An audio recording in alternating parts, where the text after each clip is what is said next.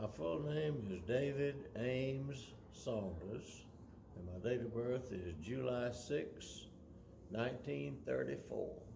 Okay.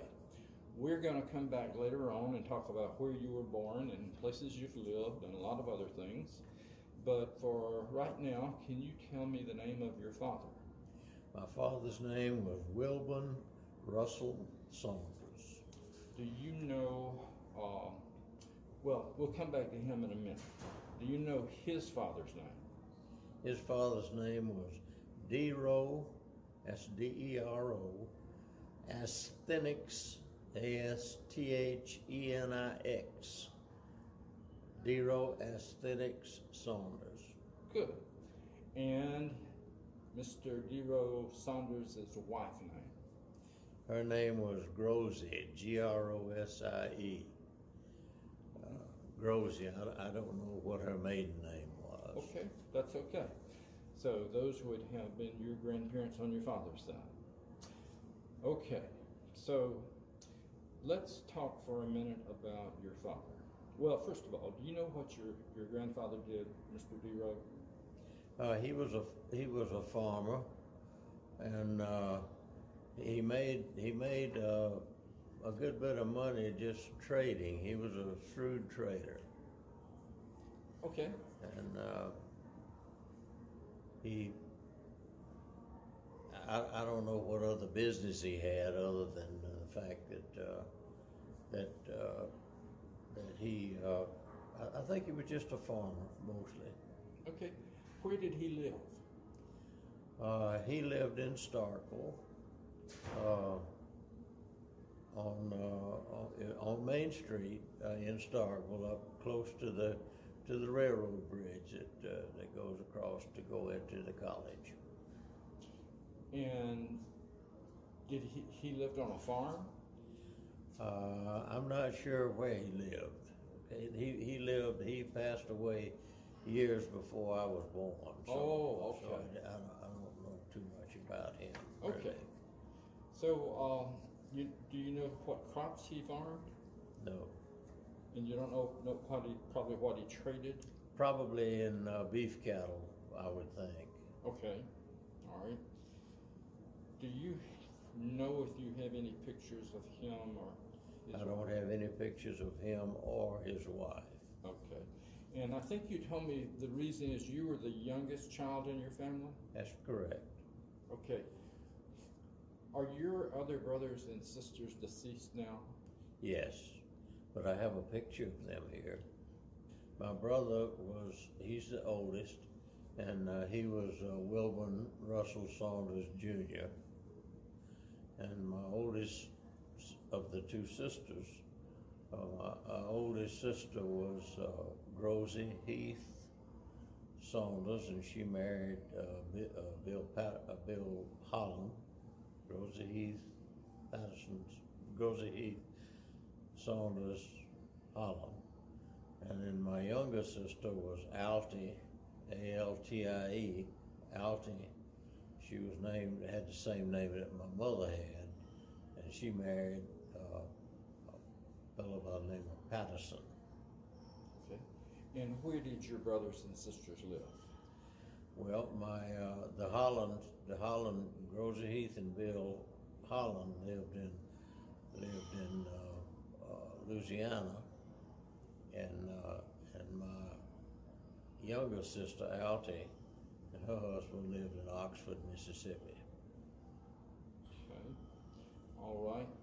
And so let's talk about your father for just a moment. hmm Where was it that he lived? He lived uh, on Greensboro Street in Starkville, Mississippi.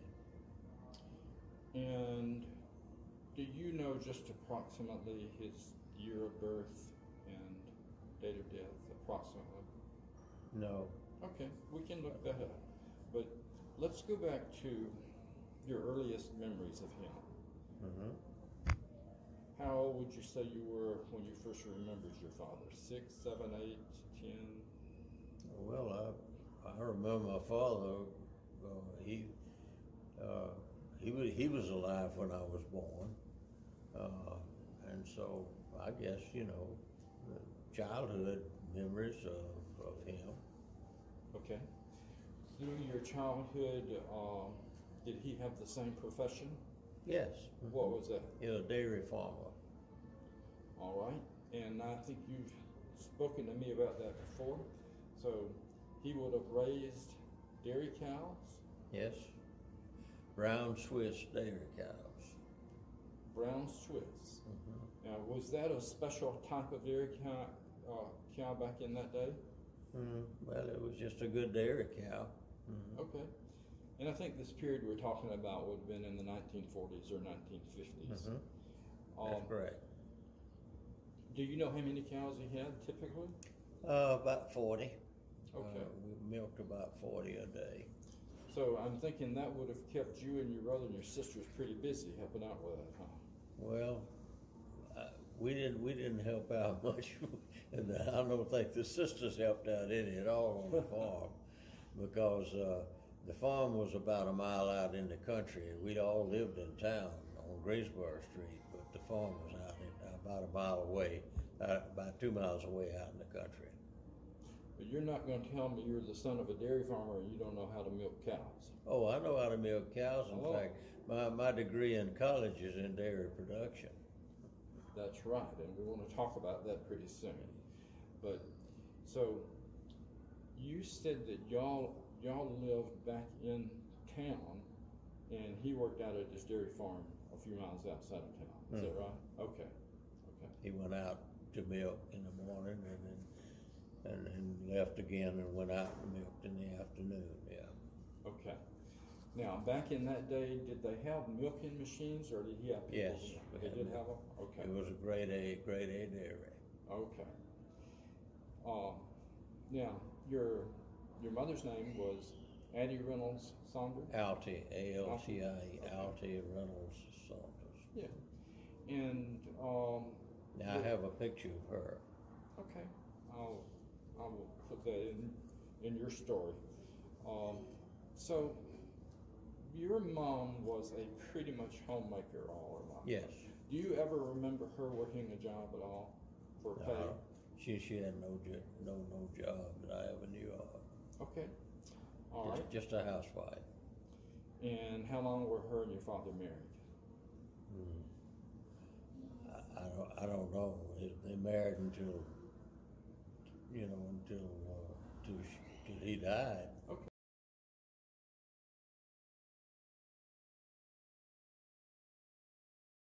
Did your mother sing? Uh, no. Did your father? My father sang. He sang. He was a soloist. All right. And where did he sing? In churches, you know, uh, just you know, at, at church. You she that, that's the only place I ever knew that he did. But he did sing in church. When y'all were growing up, what was the main church that you went to?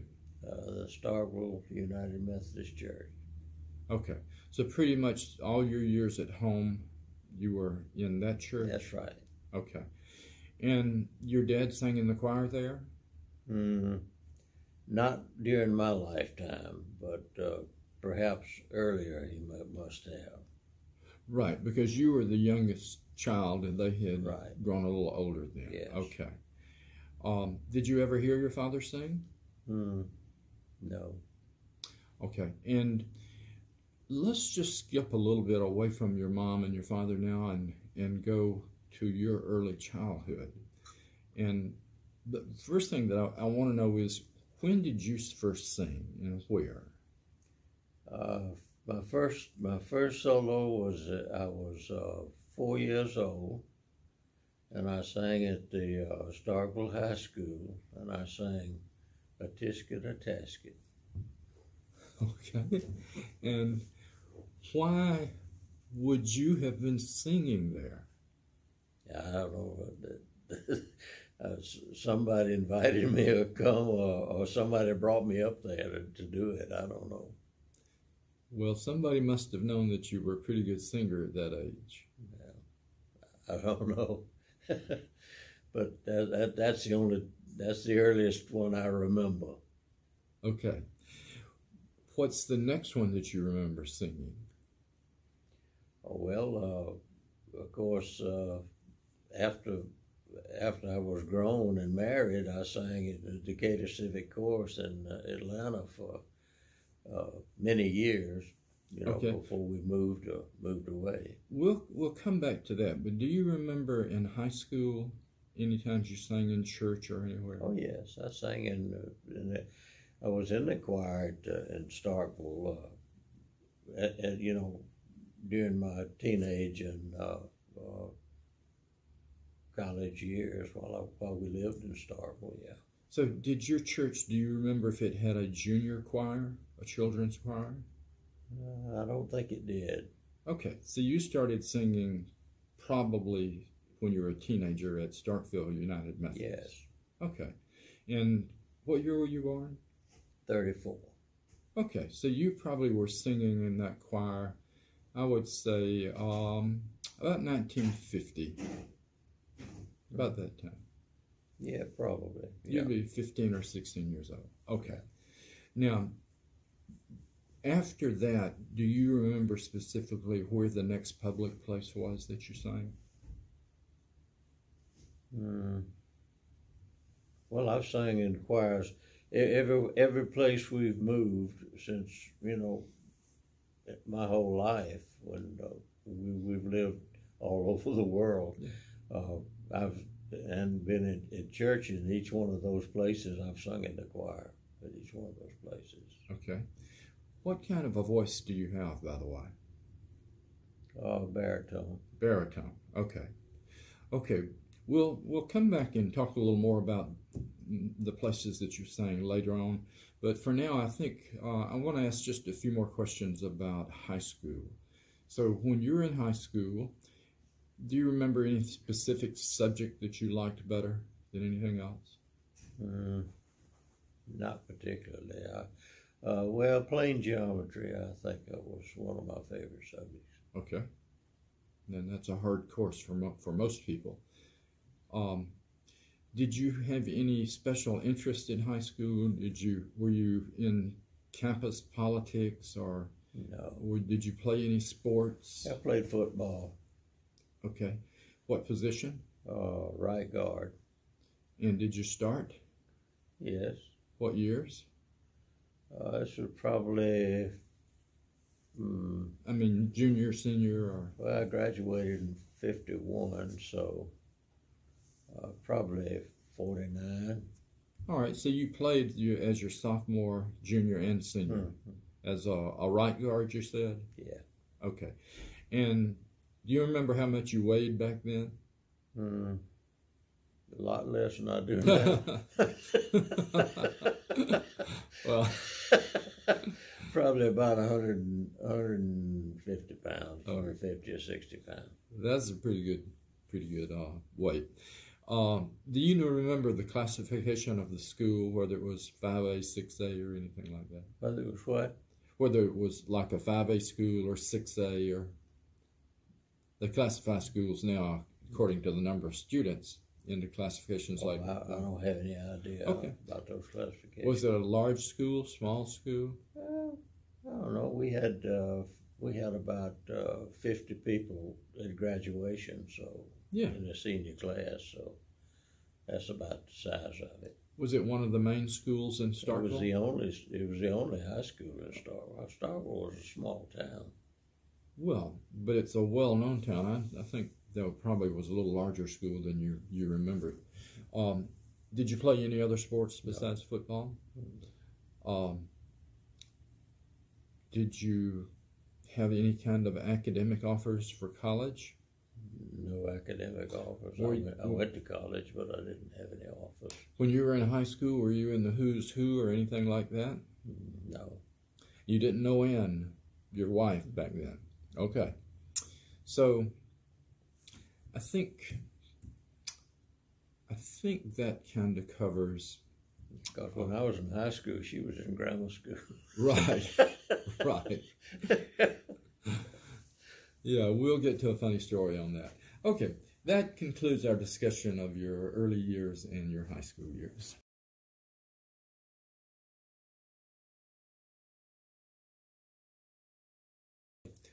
What was the address where you and your family lived when you were in high school and junior high school? 513 Greensboro Street, Starkville, Mississippi. Okay. Was that close to the downtown area? Mm, well, it was fairly close. I, you know, maybe a mile from the main main part of town. Do you have a car in high school? A what? A car. Uh, no. Okay. So, why did you decide to go to, was it Mississippi State? hmm Why did you want to go there? Well, it was right down the street. it's Okay. just, it Starkville's the hometown of Mississippi State. Well, I thought it might have something to do with the, the field of academics that you studied, but I understand. Um, so, did you live at home with your parents all four years? Yes, Okay. And what did you major in? dairy production. What was your minor? Didn't have a minor. Okay. And um, let's see, you were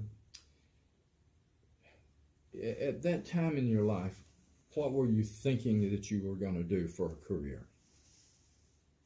Mm. I probably didn't think much about career at that time in my life. Okay. Okay.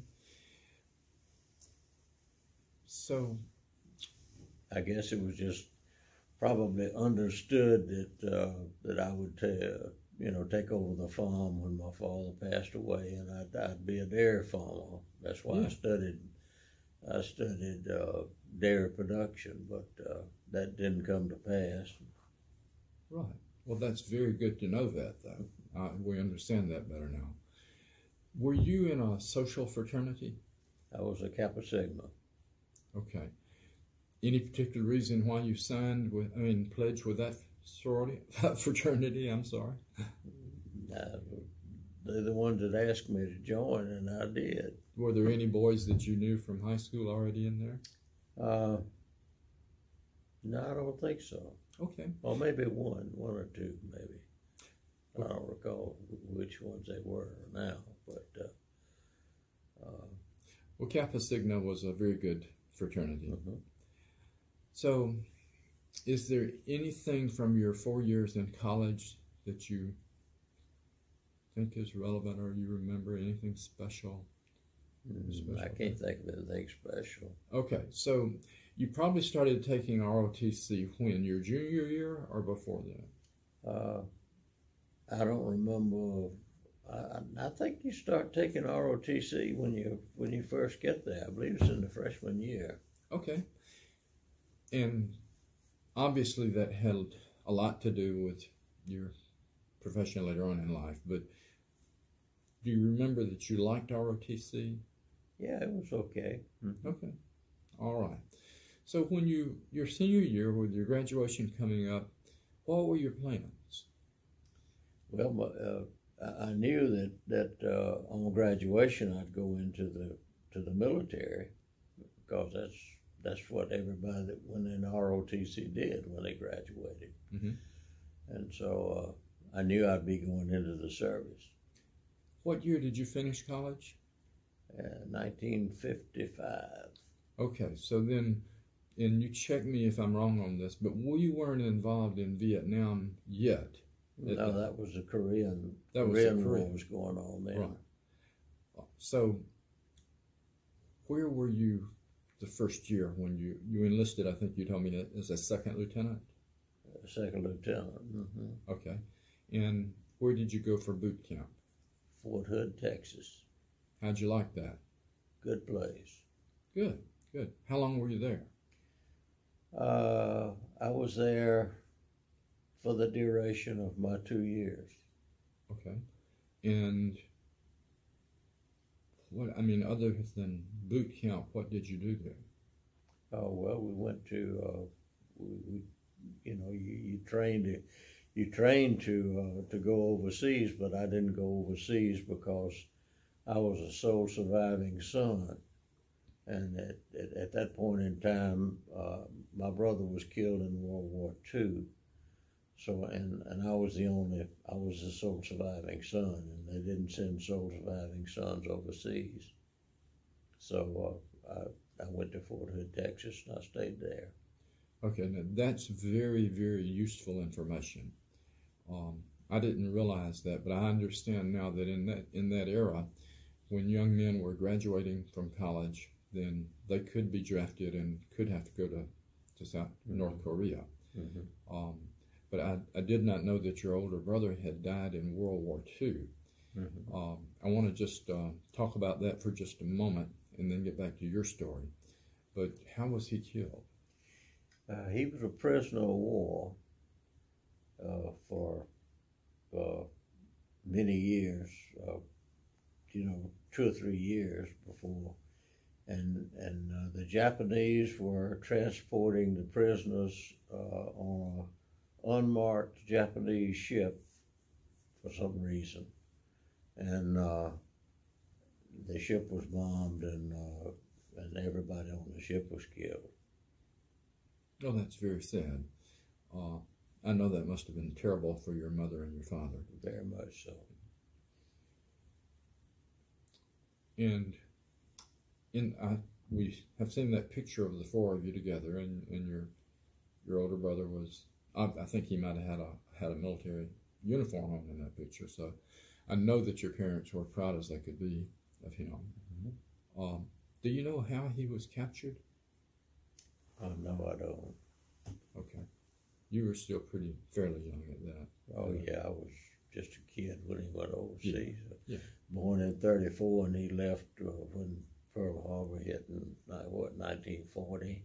Yeah. So, Okay. All right. So then you were there at Fort Hood for four years, and then what happened? mm, I mean, did, I think that ended your military career, didn't yeah, it? Four I got out of the service and came back to Starkville, Mississippi. And what did you do when you came back to work? Well, when I came back, uh, I started selling uh, insurance for uh, for Farm Bureau. All right, and how, why did you do that? Why did you pick insurance?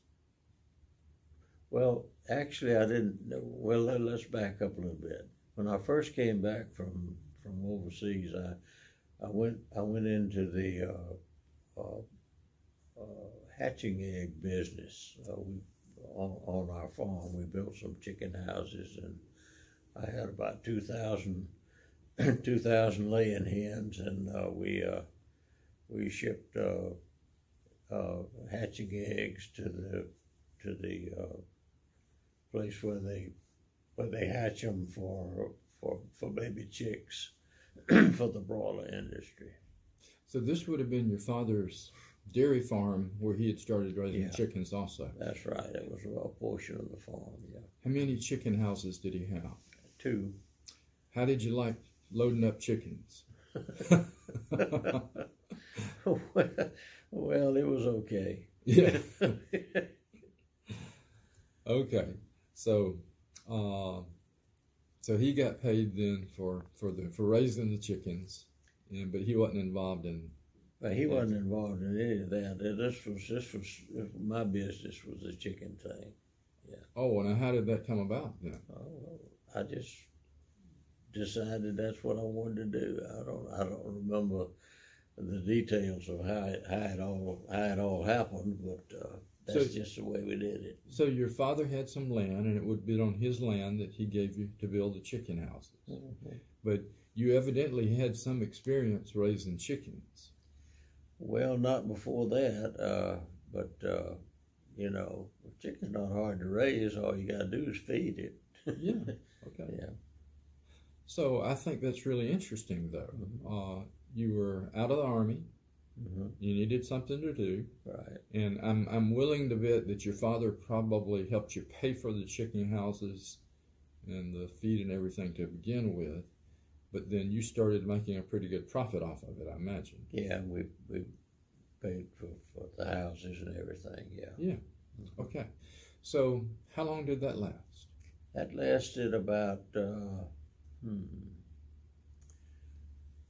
couple of years, fifty-five to fifty-seven, and uh, then uh, I got married, and Okay. we moved to Columbus, Mississippi. We're going to talk about your marriage shortly, but uh, to get the time frame right, uh, you came back home from college. Uh, what year was it? 50? I graduated from college in '55. Was in the army from '55 to '57. Okay. And from '57, we uh, uh, uh, You started the chicken house. chicken house business. You had that for a couple of years, Yeah. and then after a couple of years with the Married. chickens, Mhm. you you went to work for Farm Bureau. Yes, after I got married, Oh, that was after you got married. Okay, then we moved to Columbus, Mississippi. Right. We're gonna we're gonna talk about it, all that for now, but I mean in a minute. But for Mhm. now, you were you were back home. You had a couple of chicken houses. Uh, you ran them for a couple of years, and then did you sell those chicken houses when you went to work for Farm Bureau?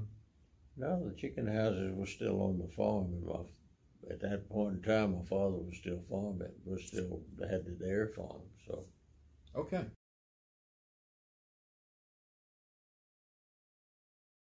So we talked about your high school years and talked about a little stint in the military, and you came home to Starkville.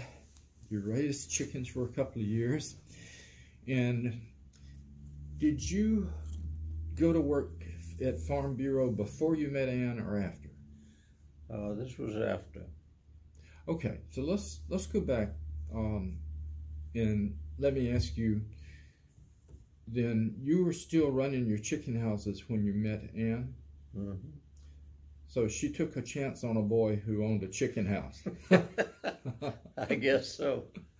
okay, all right. So I've heard this story before, but tell me tell me how you met your wife.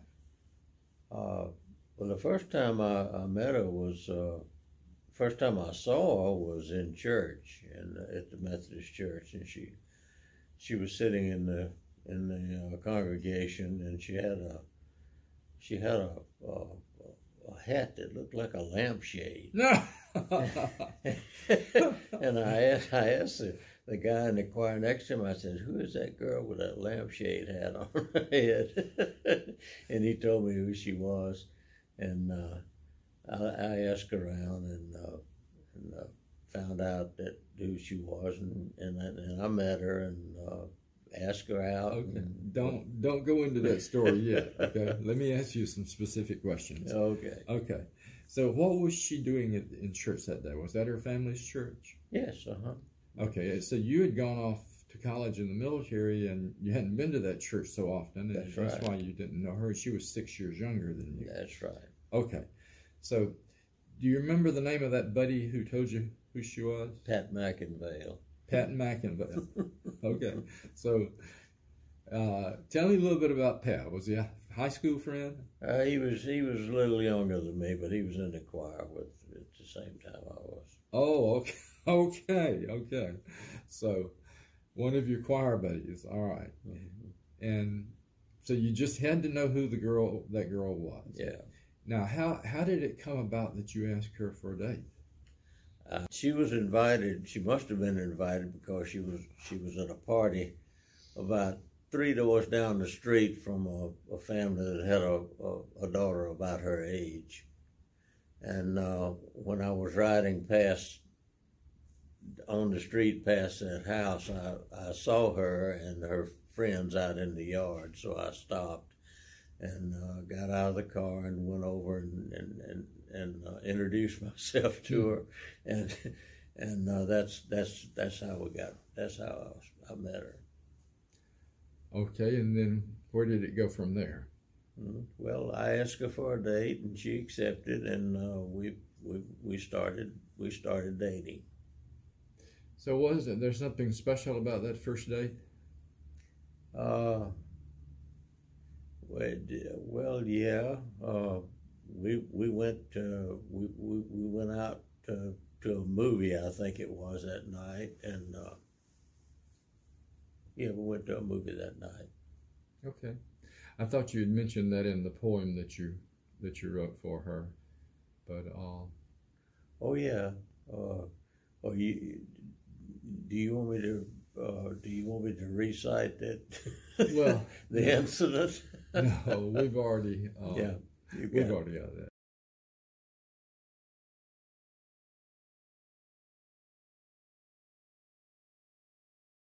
So then, while you were dating her, you started working at Farm Bureau. Is that right? Yeah, well, when when when when, I was dating her, I was I was working at uh, was I was dating her, I was a chicken farmer, and uh, her father was a farm bureau agent in Starkville, Mississippi, Ah, okay. and uh, so uh, I got I got a job uh, as as uh, as a farm bureau agent in Columbus, Mississippi, which is just about 20 miles down the road. And so uh, when when we got married, uh, we moved to uh, to Columbus because I uh, and uh, and then her father became ill and uh, had to go into the hospital and was was had to go to the sanatorium for a while for a year and uh, so Anne uh, became the Farm Bureau agent in Starkville for her father.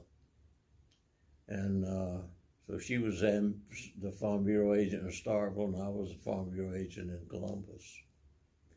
And uh, that occurred until her father came back. And then when her father came back, and uh, uh, she came back, you know, she, she was no longer a Farm Bureau agent then. okay. So just for some clarification, um, back then, people could go into a sanatorium for things like tuberculosis or Tuberculosis, yes, Or- that's what he had. Oh, is that what? Okay.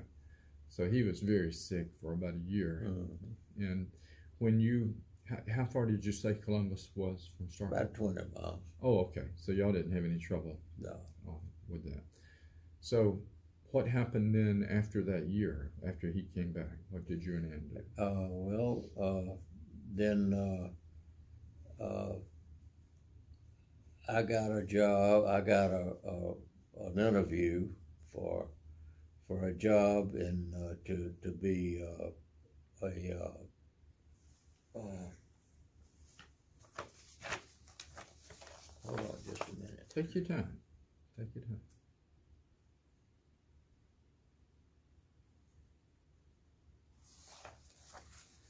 Uh, I got an interview for a job to be uh, uh, uh, in the, the uh, uh, Corps of Engineers? Corps of Engineers, and uh, so uh, I and they offered me the job in Vicksburg, Mississippi, and so Ann and I moved then to Vicksburg, Mississippi. What was the job? uh, the job was uh, in uh, in uh, uh, public relations, uh, a, civilian personnel job. Okay, so when you say a civilian personnel job, were you were you involved in hiring for Hiring and firing, yes, it's personnel office in the personnel office in Vicksburg. Okay. All right. Are you checking your notes? Or you Yeah, we were there from sixty. We were there from sixty-three to sixty-eight. Okay. 1963 to 68. Did Ann ever go to college there in Starkville? Yeah, she went to Mississippi State, but she didn't graduate. She uh, she was there for she she's about she spent about two years in college. Okay, all right. So then, how long? Okay, okay, you you were only in Vicksburg for two, no, for seven years, six years. Okay. Yeah, we were in Vicksburg from from 60, uh, 63 to sixty eight, and then we moved to Hawaii. Now you were, you had a civilian job with the Corps of Engineers. Mhm. You were totally out of the military. hmm Okay, and what was the reason that you that you moved to Hawaii of all places? I got a job offer uh, in Hawaii with uh, with the military as a civilian with the military, and uh, that's why I moved to Hawaii. And we were there from '68 to '71. Was it still with the Corps of Engineers? No, this was with uh, U.S. Army Hawaii Okay, and what was your job? civilian personnel. So it's similar to what you were doing with Yeah. the Corps of Engineers. Okay. All right. So you lived in Hawaii for about three years hmm uh, on Waikiki. Yeah, we lived well. We lived in Kailua, which is uh, uh, across across the uh, the island, uh, Yeah, Oahu. yeah. From uh, I bet Anne did not hate living there, did she? no, she liked it a lot. I wasn't too impressed with the job, but Oh, it was a good place to live. So- the climate was especially nice. So I don't know specifically about that island, but why was it that you went to work at Kailua instead of uh, Honolulu? Well, Kailua, I worked in I worked in Honolulu, but my, we lived in Kailua, which is across the across the, the mountain range. Hawaii, the island of, of Oahu, which is the island we lived on, is divided by a, a mountain range, and Uh-huh. you, and and we lived on the other side of the mountain in in uh, in another town. But but I commuted every day Oh. back. Now, in a minute, we're going to talk about you moving to Nashville. But first, is there anything you remember about living in Hawaii that was a great thing? Did y'all like to go out to eat, or did you go to the other islands? We visited the other islands. In fact, we visited uh, uh, the Big Island, which is the island of Hawaii, and uh, that's where the volcano is. Yeah. And it was it's it's still an active volcano. Did you go to Maui? Yeah, we went to Maui. Okay. Do you remember a place called the Pioneer Inn? Oh. That's a little, just a little tidbit of history that I know about Maui. I went there once myself. Okay, so just to get a little perspective on what's going on, you were you were out of college, then you were in the military for two or three years, went home for two or three years, met Ann, y'all worked for two, just roughly, then you moved to Hawaii. Mhm. Wow, so you would have been probably at this time, let's see, 1968. You were born in 19. Thirty-four. 34, so you would have been 34 years old. Yeah, And Ann was 28. yeah, That had to be great at that age. yeah. It was. You were young, you were in love. You, no children had appeared by then, right? Right. okay, so I know y'all were having a great time, and as always, making friends, like everywhere that you you moved. So why then did you leave Hawaii to go to Nashville? I had a job offer, a promotion. Ah, with uh, back with the Corps of Engineers. Uh, oh, and uh, that we left there in '71 and uh, stayed there until '73. From '71 to '73, we were in Nashville. so the Corps wanted you back. Yeah. They knew they had your history working for them, I guess and probably knew a little bit about you in Hawaii. Okay, so what part of uh, Nashville did y'all live in? Uh, we lived in. Uh, hmm. Can't think of the street. If it doesn't come to you, just what part? Uh, suburbs, Uh, yeah, it was a suburb. north suburbs. yeah. Okay, all right. And anything special you remember about Nashville? Uh, mm, not really. Anne hated it. It was not a good place for her because she left Hawaii. Okay. and and it started off bad because when we got off the plane from Hawaii and and, and unloaded in Nashville, it, it was sleeting out. Oh my goodness. and David Jr. was small at the time, and he says, "Pappy, my feet feel funny." And I looked down, he didn't have any shoes on. oh.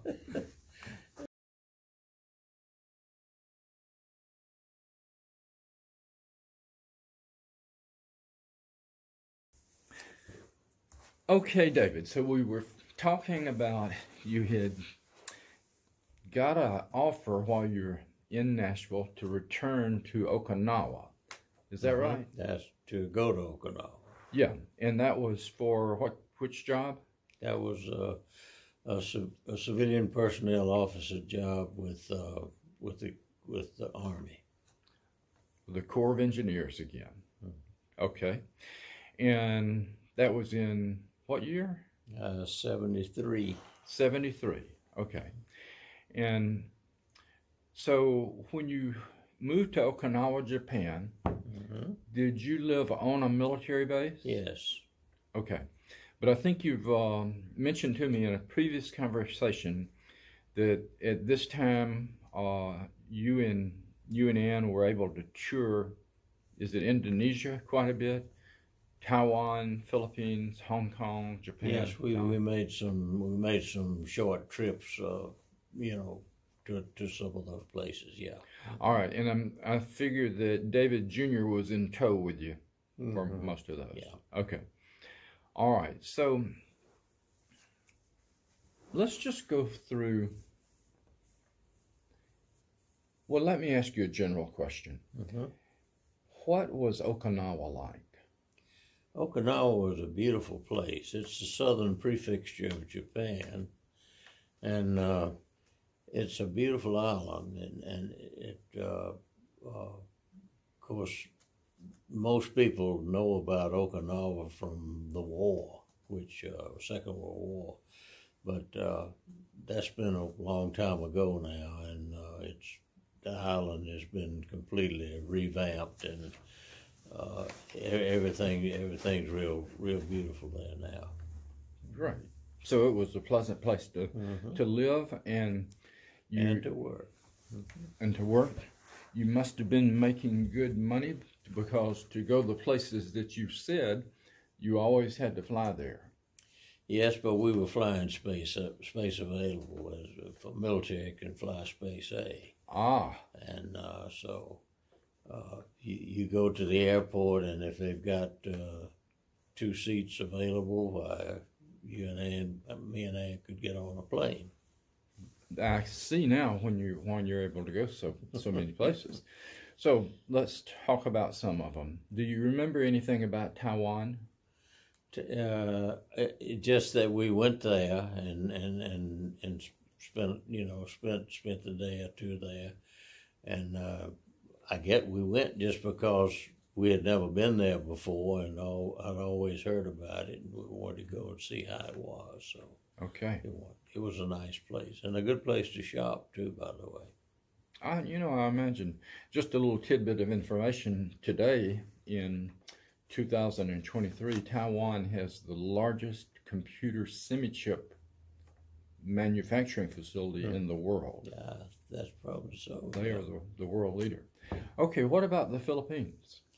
The Philippines uh, is is also a, very beautiful place, and uh, one of the places that we visited in the Philippines was the uh, was the World War II memorial there, and uh, my brother's my brother's name is on the wall there as as as one of the people who passed away during the during the service there. That's Was great. killed during the war. What branch of the service was he? He was an army. Okay, and when you say on the wall, what? It's a it's a it's a big uh, it, it well, it, it's just just got the names of the people that the names of the people that had that were killed in the war uh, in the Pacific there. Okay. It's kind of like the kind of like the Vietnam Wall that they've got now that you read about. Well, I think it's to know that Wilbur Wilburn R. Saunders Jr.'s name is is there and will Yes, be there a long time. And you know, it's really special because as we speak today, this is Memorial Day weekend, and that's that's a nice thought. Okay, so I know there was something special about Hong Kong, and I think this is going to be a little funny. So tell me about your visit to Hong Kong. Well, our visit to Hong Kong uh, is this the one on where we stayed? Uh, I think that might have been Thailand. That was Thailand. Yeah, yeah, right. Hong Kong, you had a little incident, I believe. Uh, Oh, oh yes. Uh, that that's where we were. We rented a car, and we're driving around, and I, I accidentally crossed over into Red China, and, and after we realized what we had done, we quickly we quickly returned back uh, back across the line and back into Hong Kong, uh, for for for fear that you know we'd be we'd be uh, put in jail. well, and, tell me, tell me why the Red Chinese uh, military would have had a special interest in you. Well, I had a top secret clearance, and uh, and they, they would probably want to find out everything I I knew, and uh, they have means of getting that information out of you, and, and it's not pleasant. well, you know, in that regard, we haven't mentioned anything about your top secret clearance. Any of the other places that you live was was there was this something you had done in other parts of the world also in part of your career? Mm, no, but uh, it's it's just in, the, in when I was in the military, uh, uh, I was in uh, you know uh, I, I was in positions where where you had to have a where you had to have a top secret clearance.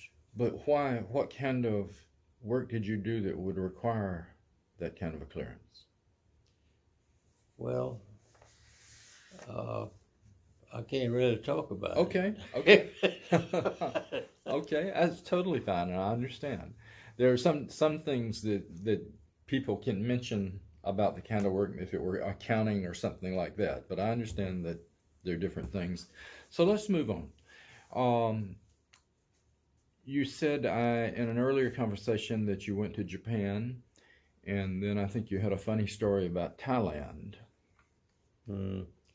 Oh yes, we went to Thailand, and uh, uh, when uh, we were on the plane going to Thailand, we uh, we uh, there was a there was a soldier on the plane with us, and uh, he when he found out that that, that we were going to be there for a while, and I asked him if if there was a, a good place to stay, a hotel, that he. And he says, Yes, you need to stay at the Swan Lake. That's a good hotel. And so we went to the Swan Lake. And when we got in the cab and told the cab driver we were going to Swan Lake, uh, that's where we wanted to go, he was kind of apprehensive about it and he questioned me about it. And I, I didn't think too much about it, but he took us anyway. and after we got there and it's checked in and everything, we found out that uh, that actually Swan Lake is a house of ill repute. but we spent the night there, and uh, and uh, the food was very good. And uh, left the next morning. Uh, David Jr. was with us, and uh, I, figured he he could he could brag to his friends where he'd spent the night. he'd spent the night in the whole house. oh goodness! I imagine you would have, if you had known that in advance, you would have found another place to Oh yes, we Yeah. would have. That's funny. Okay, so that was about a two-year stint there in Okinawa. Uh, is there anything else you recall about Okinawa that you'd like to mention? No, no, we uh, uh, it, it was it was just a pleasant place. Uh, it was one of the places where I wanted to. They they have a golf course that's just absolutely gorgeous, overlooking the ocean and uh, and everything. And uh, I I wanted to learn how to play golf, and but but my job was so demanding now I never got, got a chance got a chance to do that. So and to this day I, I've never played golf. So. That, uh, that's just the way life is, I guess.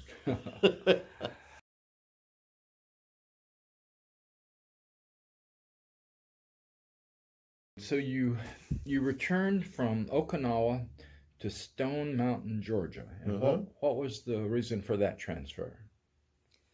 Uh, well, uh, I got an offer uh, uh, for a job offer there, and uh, so we we went there because of that. Okay, and what was the company and the job? That, that was uh, that was uh, uh, civilian personnel work with uh, with uh, Department of Army. Okay. On, uh, And just for reference, when you say civilian personnel work, you were involved in hiring and firing civilians for the for army bases. Civilians, right? Yeah. Okay. the military move so much until they have to have civilians working on the post to give some stability to to to things that continue on, like you know, like food and uh, Sure. all all, all the, the the general necessities. So you moved there to Stone Mountain in 1977. Mm-hmm. David Jr. would have been around 12, and Debbie would be around 15. Mm-hmm. And in one conversation, you had mentioned that this was sort of the place that you raised your raised your family, Mm-hmm. and this is where the love of your life was born, Woogan. Yeah, yeah, he was a fine kitty cat. and what was the street that you lived on? Uh, uh, in Stone Mountain, we lived Uh-huh. on Barbara Sheila Drive. Okay, and I believe I remember you had mentioned there was a special church there, and you St. mentioned Timothy. St. Timothy United Methodist Mhm. Church in Stone Mountain. Okay. All right. Anything else about those years in Stone Mountain? Mm. No, it was just uh, it, it was the longest place we stayed. Uh, at- you know, in one place after we were married because we had moved around so much. But uh, yeah, it's uh, that was it was uh, it was it was a good it was a good good place to be. Stone Mountain's a nice nice town.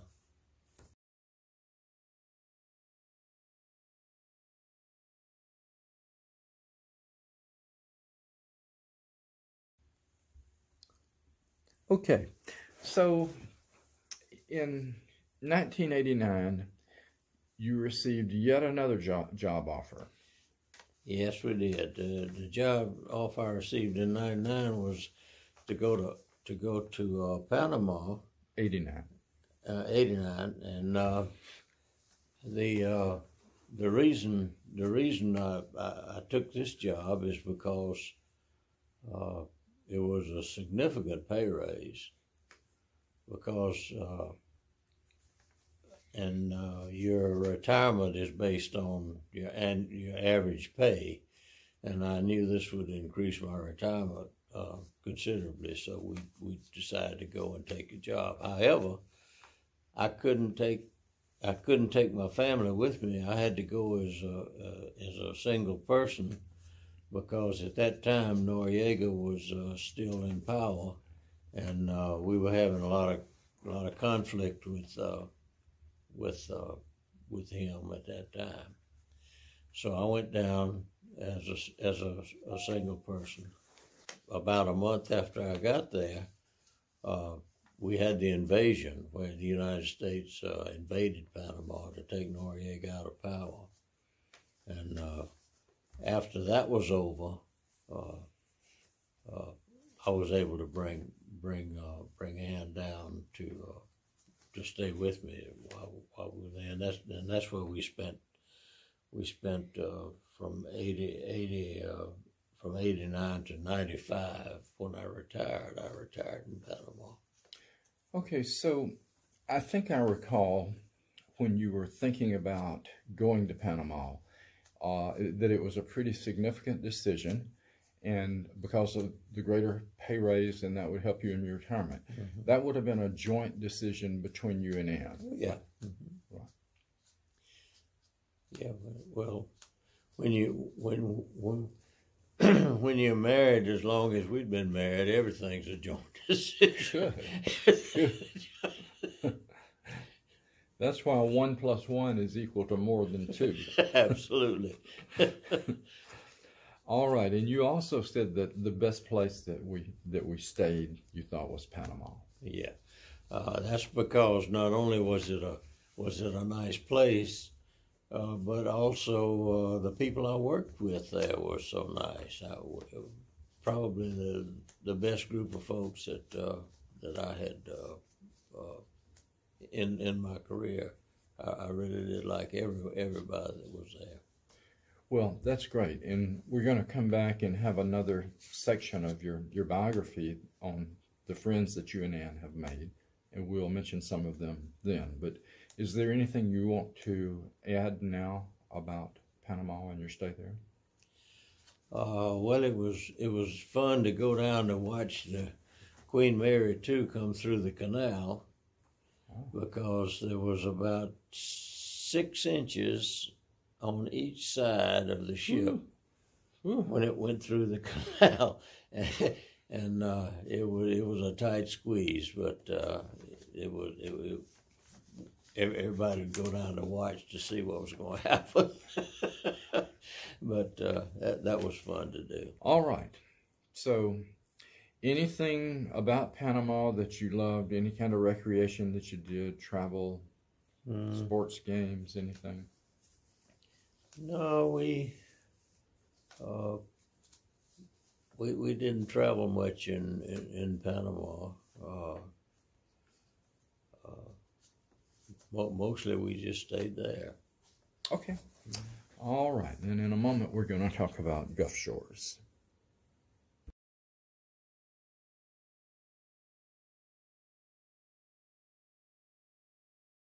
Okay. So, David, we've talked about um, Panama, and now we came to the the time of your life, I guess, when it was ready.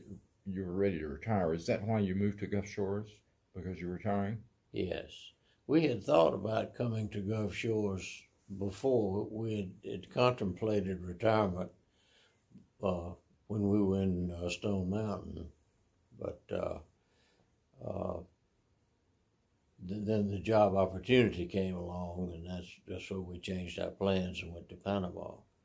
But before we before we were we got the job offer, and and when we were thinking about retirement, while still in uh, while still in Stone Mountain, we had made a trip down here to Stone Mountain and to all of the the uh, Gulf, all of the seashore places uh, on the Gulf, uh, towns on the Gulf from from uh, Biloxi, Mississippi, all the way down to St. Joe, Florida, to looking at at houses because we always wanted to live close to the ocean. And uh, uh, one of the places we stopped here was in Gulf Shores, and we liked it very much. And uh, so uh, we we decided then when we got the job off. Of course, we went to Panama, but then when we got ready to retire in Panama, we knew we knew we wanted to come back to Gulf Shores. Okay, so your your reason for coming here to retire was a little different than most people. Most people have been here a lot in years prior to moving here. They vacationed here. Mm-hmm. Um, but with you and Ann, I don't. It sounds like you didn't had not visited that much. Well, You're, well, we had been here. We had visited here, and uh, oh, okay. we had stayed at what, what at that time was the Ashwanda Motel out on the beach. Yes. And uh, there wasn't any condos here. That it was all all open open sand, and uh, we stayed at uh, Ashwanda, and uh, we we liked it here. So now that would have been what about 1995? Yeah, David Jr. was still small. He was still uh, still a small kid at that time. Okay, so I'm trying to remember when David Jr. was born. He was born in uh, 1965. Okay, so if he was say 15, that'd be 1980. Um, now we're out of sequence here a little bit. Um, when you moved to Gulf Shores, I'm thinking it was sometime between 90 and 95 because you were in Panama in 1989. Well, I was in Panama from 89 to 95. All right, so you moved to Gulf Shores in 95 then. Mm-hmm. Okay, all right. So you you mentioned something that I think has real significance. The Ashwanga Hotel. I think you spell that A S H W A N G A. N-D-E-R, Ashwanda. Ashwanda. Okay. And it was the only in 1995. It was the only. mo- Probably, probably the only hotel here. was it close to what we call the Hangout now? It was uh, where McDonald's was at uh, on the beach, uh, out, but it was out on the sand. Yeah, Okay. I'd say around probably the place where McDonald's is. Okay. And seems like you had mentioned someone, a realtor who had helped you a lot. That's right. Uh, yes, uh, we uh, uh, Lillian Bemis. Lillian Bemis was the uh, realtor that had shown us the houses while we were here on our previous journey. You know, when we were Okay. thinking about retiring when we were still in Stone Mountain, and uh, she kept up with us all that time. When we were in Panama, we got I got birthday cards from her, and we got anniversary cards, and uh, she really she really kept up. She was the only realtor that did, and so when we got ready to retire, we said, "Well, let's go back. Let's go back to Gulf Shores," and we did, and, And I'm glad. I'm going to just read something into this and say that uh, realtors don't send cards and birthday cards to all their all their clients, but you and Ann had a long string of great relationships and friends, and I think Lillian Beavis, Bemis Mhm. just happened to be a good friend who wanted to keep Yeah. up with you. Okay, all right. Any? Oh, we wanted wanted to talk about St. Andrews. So, a year or two after you moved to Gulf Shores, well, you immediately joined United Methodist Church in Gulf Shores. Mhm. That's right. But then a small group of people uh, left that church for some kind of reason, and they started attending worship services on the beach. That's right. Can you tell me a little about that? Well, we we first started first started meeting on the beach, and then uh, then then we moved to uh, to a, a trailer that was uh, parked out uh, where St. Timothy where where St. Andrew is now. There was a trailer. We met in the trailer for a while, and then then after they got the church going, we met. Uh, we we started. Uh, you know, being in a church. Yeah. Now, when you were at uh, United Methodist Church, First United Methodist of Gulf Shores, did you sing in the choir there? Mm-hmm. Okay, and your uh, your choir director was a pretty significant friend, wasn't she? Very much so. Mm-hmm. And her name Joan.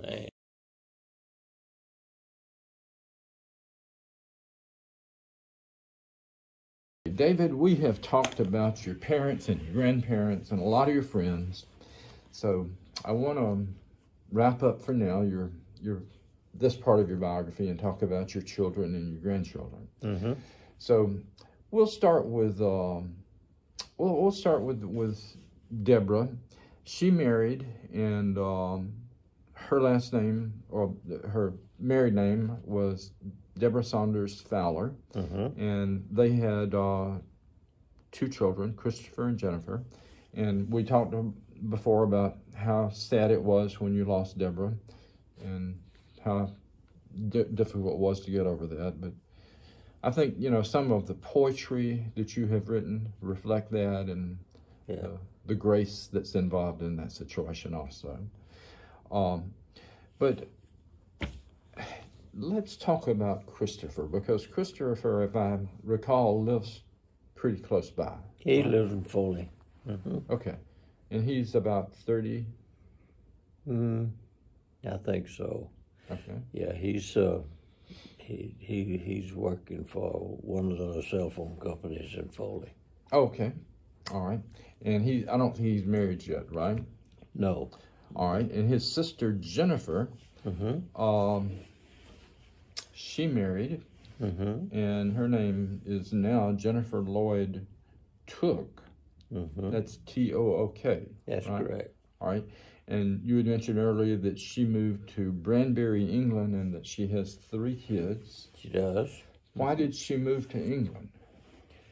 Uh, well, she had a job before before she got before she before she was married. Uh, uh, she got a job in uh, in Germany, and uh, she met uh, she met Daniel Took while they were working in Germany, and he he was he was from England, but uh, he was in Germany at, at the time, and uh, they started dating, and uh, they got married, and uh, went back to England, and uh, when he got transferred back there, so she went with him, and uh, and they now have three, three, three children: Ava, Stella, and Ezra.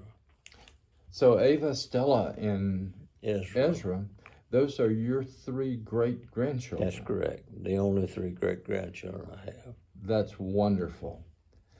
Uh, are you as crazy about them as you were about your grandchildren? yeah. well, it's too bad you can't see them more often than you do, but That's right. They're Uh, far away. yeah. Okay, so David Sr., you've told me a lot of good things, of, or some good things about David Sr. You, you've talked about how smart he is. So, David talking? I, I'm sorry, I mean Da- David Jr., right? David Jr. okay. So, what what does he do? He's with a an automobile wheel company Okay, that makes specialized wheels for automobiles. okay. And uh, where did he go to school? University of Georgia. Oh my goodness. Okay. Met his wife there, and she they both from the University of Georgia and are big Georgia fans. Oh, that's great. That's great. So this is a this is heady heady times for Georgia fans because in football they've won two national championships now. Yep. Okay, so they have uh, Jordan, who is about twenty two, hmm and she's now engaged to be married, and will be married in October. really, where at? Hmm? Where at? In what city?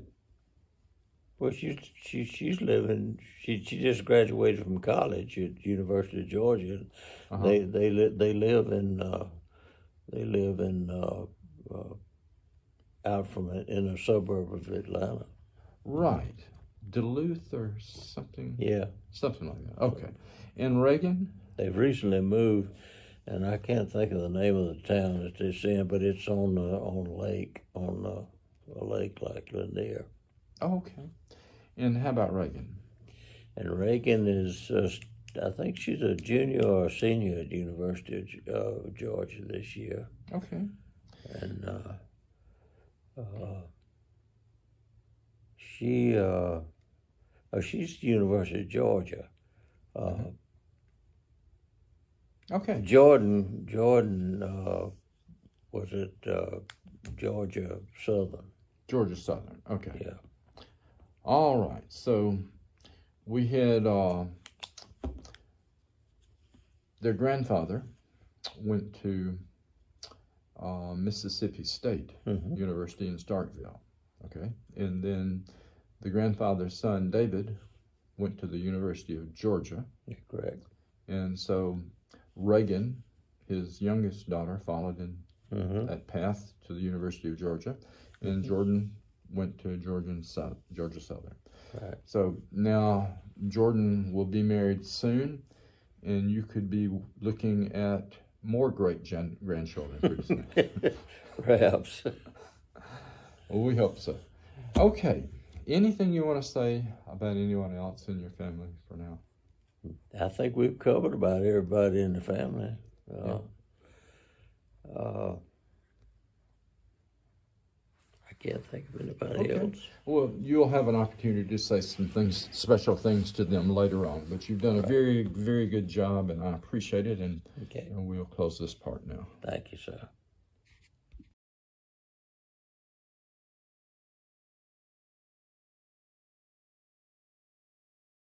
David, you and Anne have had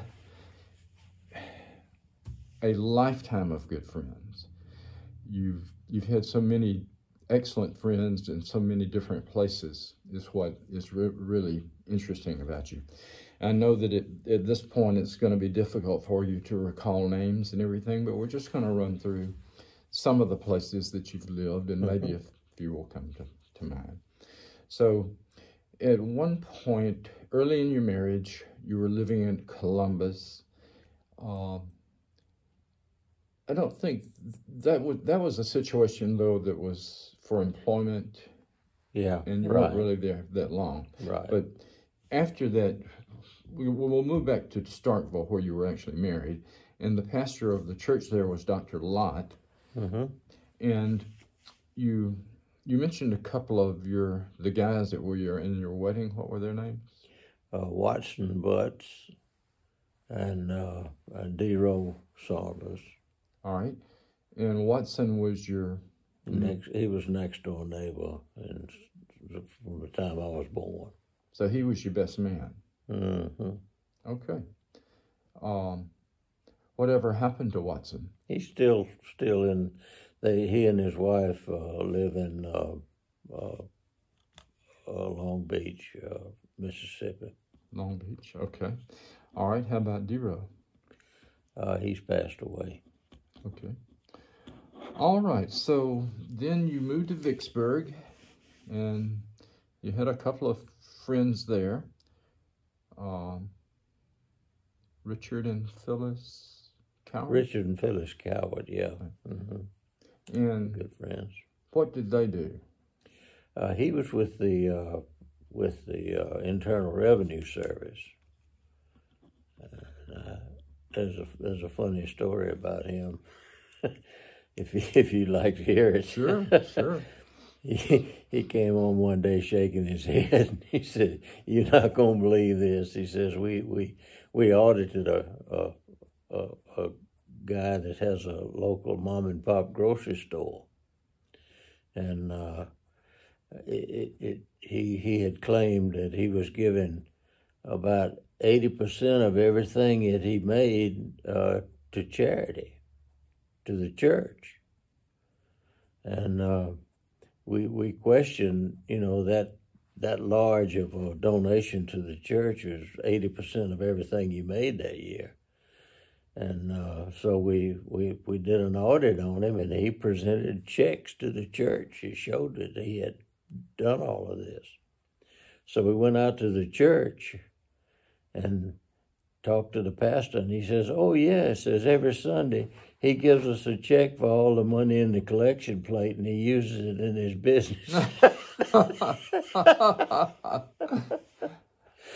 That's hard to believe, but I guess that's a true story. It's a true story. Okay, you mentioned earlier Lena, Louis Reno. Louis Reno, yeah, he's he. I worked with Louis uh, in the in the uh, office there at uh, Corps of Engineers. There, he was a friend. hmm Okay, and um, then there was a couple of good friends, Boots and Buster Bass. hmm And uh, uh, Boots uh, Buster has passed away now, but uh, Boots is still still living here in the Gulf Shores area. Okay, do you remember what Buster did for a living? Uh, he he had a, a, a sewage business out uh, out on Fort Morgan Road. All right, and I've never heard of anybody owning a sewage business, but what did he? well, well, it's a big plant out there. they process, I guess, is what they do. I don't, I don't know how how it works, but he has he had that business. He started that business out there. Yeah, that's a very well known uh, landmark along Fort Morgan Road. Most most people don't know what it is. Okay, so will you move to Kailua, Hawaii for a short time, and then to Nashville. You had a couple of friends there, Janie and Harold. Janie and Harold, yeah, they were good friends, and uh, Harold has now passed away, but Janie's, uh, uh, I think, still alive. She's probably still alive, but I hadn't hadn't had any contact with her lately. Okay, and then Okinawa, and then Stone Mountain, and um, in Stone Mountain you had a number of friends that were just spread out for different places. There was the pastor of the church there, and yeah, yeah, uh, people in the choir. But it's, yeah, the choir members there. Yeah. Mm-hmm. Uh, but now in Panama, Panama was one of the places that you described as one of the best places that you'd ever uh, lived, mm-hmm. and it, it sounded kind of like it was a place where you and Ann had made really great friends. Yeah, we had we had some good friends in Panama. The uh, the Chicolanes, uh, it was uh, uh, uh Anna and uh, Manuel Chicolane were good friends. What did Manuel do? I don't know what kind of business he was in. Then how was but, it that you knew him him and Anna? Well, I worked with Anna in the office. Ah, okay. And, and, and okay and uh, Sam McGinnis, I also worked with him in the office there. Okay. And they, he he was a good friend. Okay. And uh, uh, you mentioned Matt and Betty Mons Matsunaga, Matt, Matt and Betty Matsunaga. Uh, they, were, they were good friends of ours. Uh, Matt has now passed away, and I think Betty's living in Georgia somewhere. Okay. Do you remember what Matt, Matt did? Uh, he worked in the office there with, with me also. Okay. Yeah. So, most, most of the friends we had in Panama, you know, worked with us and uh, worked yeah. with me in the, in the office there.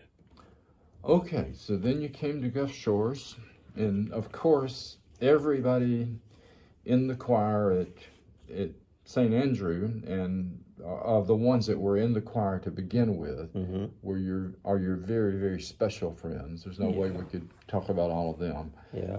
Um, and uh, in the same light, we would mention Pastor Robert Warren and his wife mm-hmm. Pat.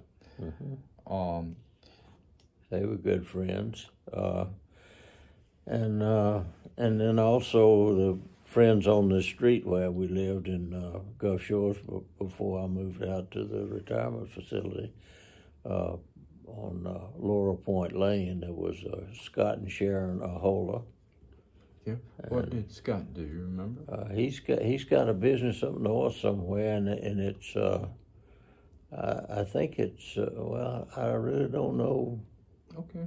What what he does, but anyway, he he works from home here Okay. And occasionally makes a trip back and forth back up to, to North. All right. And Tom and Kathy? And uh, Tom and Kathy, and, and I don't recall that last name, but they, uh, they, they live next door.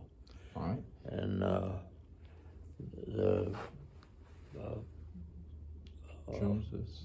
The Bumans lived across the street, and both of them are now passed away. But they they were good friends, and uh, Lorraine Gaddy, who's a real estate agent here in Gulf Shores, lived next door to the Bumans across the street. So, and then next door to them was uh, was uh,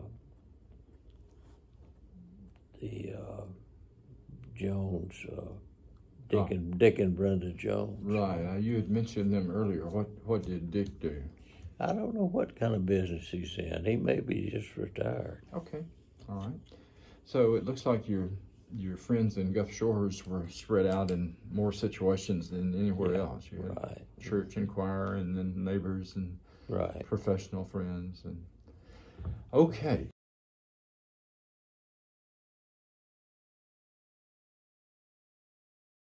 David, I want to talk a minute about your churches because hmm. I know that your Christian life was always important to both you and Ann. hmm So I'm just going to mention some churches that I think were significant in your life, and you can you can stop me at any time if you want to break in. But you were raised in the United Methodist Church of Starkville, That's correct.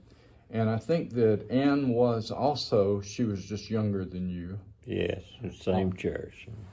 And I believe that you told me earlier that, that that's where you first, well, the first time you sang in choir was in the fourth grade, but later on when you were maybe high school, you sang in the choir at, at the United Methodist Church of Starkville. That's right. hmm All right. And then after after you got engaged and you got married, you were married in in In that church. that must have been really special, both you and her growing That's up in that church. That's correct. Do you remember the name of the pastor that performed the service? Uh, our, our service, uh, Dr. Lott, Dr. L O T T. Okay. He's the one that married us. All right. And then for a short period of time, you attended the United Methodist Church in Vicksburg. hmm And for the purposes of whoever might be listening to this video, we don't know the specific name of the Methodist church in these cities. Hmm. So we're just going to refer to them generally, usually as just the United Methodist Church. That's right. but it was usually the, the main one. So, y'all attended the United Methodist Church in Vicksburg, Mhm. and then even when you went overseas to Kailua, Hawaii, you attended the United Methodist Church there. hmm And anything you want to say about the service in that church? What that was like? I don't re- recall too much about that church, uh, uh, the one in Hawaii. Uh, Okay. All right. So you weren't there there too long, and you moved to Nashville, and you went to a Methodist church in Nashville, mhm. and then you moved overseas again to Okinawa, and you you were went to church service at the military chapel. Yeah, military base. chapel, right? They had no choir there, so I didn't didn't sing in the choir there. So you've sang in all of these choirs in these churches that I mentioned, Yes, even the one in Hawaii. uh, uh, yes, Okay, that's a great bit of information that I didn't quite uh, understand. So, so in other words, not only in Starkville, but in Vicksburg, Kailua, Hawaii, you sang in the Methodist church there and in Nashville. hmm and also when we lived in uh, Stone Mountain. Right, that's coming coming up next. Uh, after the military chapel in Okinawa, then you moved to Stone Mountain, and you went to St. Timothy United Methodist. That's right. Okay, is is there anything you want to mention about that church or that choir? Well, that was uh, that was a great church, uh, and I did sing in the choir there, and and also in when we lived in uh, in Stone Mountain, I sang in the Decatur Civic Chorus, which is uh, which was uh, a, a nice uh, a, a big chorus in uh, Decatur, Georgia, uh, which is close by uh, Stone Mountain Right. and uh, in that in that act in that particular group, uh, we we we traveled to many places, uh, Mexico City and uh, places all over, make performing. Well, now that brings up another part of your life that I, I didn't know anything about, but that is very, very interesting and very relevant. Mhm. Um, in that time, I guess that was the, I don't know, the late 80s or early 90s. I know that Stone Mountain and Decatur were uh, not far from Atlanta. That's right. Almost suburbs. Yeah. And they were big uh, urban areas. hmm And I know that in a choir uh, of that prominence, uh, it took a you had to be a real good singer to even be invited to join that choir. Do you remember the circumstances of how you joined? Uh, no, I don't. I, remember going there the first time and uh, and uh, singing. Uh, I, I, they they just said they just said come on in and and and I, I noticed when uh, when I went in to, to sing they they they they, they had a choir a member uh, that had been there a long time uh, came over and sat beside me while we did that and then and then after we'd done two or three songs, he got up and went and talked to the director. I, I guess they, I guess he was giving her a report. but anyway, uh, I was able to stay. I, I'm seeing the pieces fall together, but uh, we still have to probably surmise a little bit that how you hopped from, excuse me, from St. Timothy to to that church. And I'm willing to bet that somebody at St. Timothy, perhaps your choir director there, uh, put a recommendation in for you. Uh, yeah, there was there was someone in the choir uh, that that uh, ah. recommended that uh, that I go and sing at the Decatur Civic Chorus. Okay, all right. Then that was really quite an honor, because that particular choir probably received auditions, we'll say, from people all over the Atlanta area. Mm-hmm. So you remember going to Mexico City and what were a couple of the others? Yes, we, we went we went to Mexico City on a, a tour and okay. and, and, and they, they went they went all over the world. They went they wow. they, they did tours in, in Europe, but uh, I don't I, I wasn't with them when they went to Europe. I don't think. Did you sing any solos for that choir? Mm-hmm. No, the Decatur Civic Chorus uh, is is mostly uh, it's all choral music. It, they didn't have any they didn't have any solo music. Okay. It's all, all choir all choral music. Okay, so it wasn't all religious music either then. Mm-mm, no, it wasn't wasn't any religious music at all. Well, some, you know. Right. Occasionally we we do a, a religious song, but uh, mostly it was uh, uh, at, at the at the civic chorus. It was mostly just other non non religious type music. Right, right. You that would have been the kind of chorus that would sometimes have sung with orchestras, right? Mm-hmm. Yeah, that's that's a big deal. I know you really enjoyed that. Um, so then after St. Timothy, you moved to Panama and you, you and Ann attended a military based church there. And then finally you came back to Gulf Shores and you immediately sought out the Methodist church in Gulf Shores. Um, and you sang in the choir there. Um, I think you probably were only there for a couple of years. And then sort of just give a quick summary of what happened from that point on. We came to Gulf Shores, and uh, we, when we first came here, we were in the, in the United Methodist Church of Gulf Shores. And then very shortly after that, we, uh, uh, we uh, a group of people from the Methodist Church and, uh, and particularly the choir, uh, moved out of the out of the church and uh, started uh, Saint Saint Timothy, uh, Saint Andrew by the Sea. Right, but let me let me interrupt if, mm-hmm. if you will, please. And there's a little more detail to that. Um, and correct me if I'm wrong, but I believe that there was a, a beach service going on at that time from a Baptist church in Foley, if I have heard this correctly, and it seems like that y'all first joined in with them, and then at some point you split to have your own service on the beach.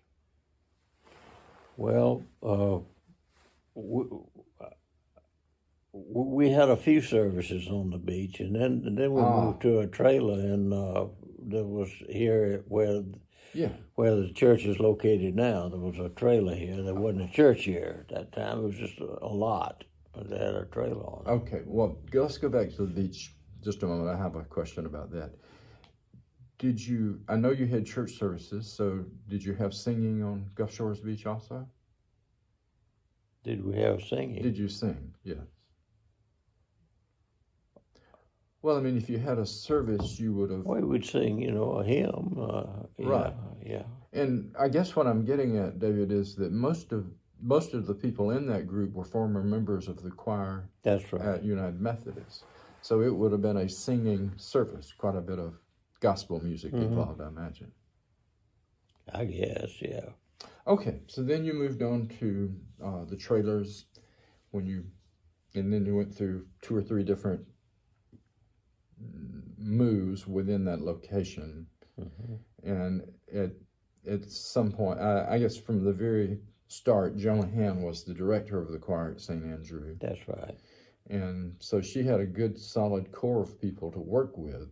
Um, this is something that I think I was lost out. The information on this was got past me that Joan actually had all these great voices from United Methodist Church of Gulf Shores. hmm So that tells a lot of the story because now in the current time is 2023 and St. Andrew has a, a choir with uh, typically about 20, 24, 25 people in it.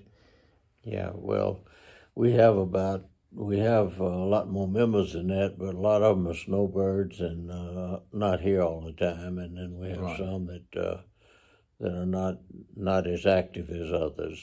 But yeah, normally there's around twenty to twenty five Right. people. But what is amazing is that a group that small can make music as beautiful as we hear in our church every Sunday. well, every thank Sunday. you. Absolutely. And um, it's a compliment not just to you, but to Roger Jones and Joan Han and everybody else in that group. It's, it, it is extraordinary. Okay, so seems like there was something else about the choir. Uh, yeah, they call on a guy from from that choir to sing uh, just a closer walk with thee every now and then, don't they? yeah, they do. Well, hopefully we'll have a clip of that in your in your biography. Anything else you'd like to say about the churches? Mm, no, that's about it. That uh, uh, I really enjoy being in the choir here, and uh, and uh, the camaraderie with the with the choir members and the people. It's it's very important, as important as the songs that we sing.